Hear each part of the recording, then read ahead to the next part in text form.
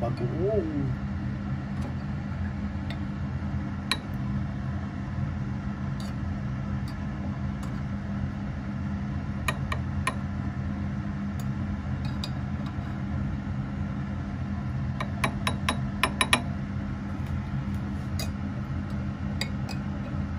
Maraming klase ng alamang.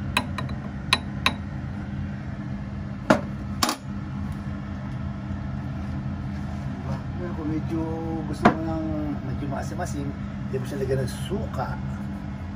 Any kind of suka. Panalo! Yan ang aking breakfast.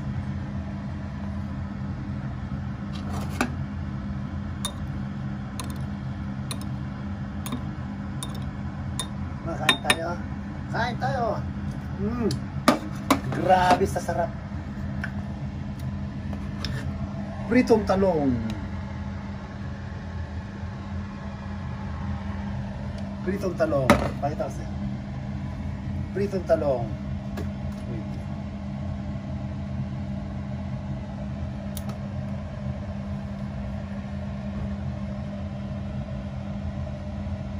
Suka. Ah! Ito na po yung ating pritong talong.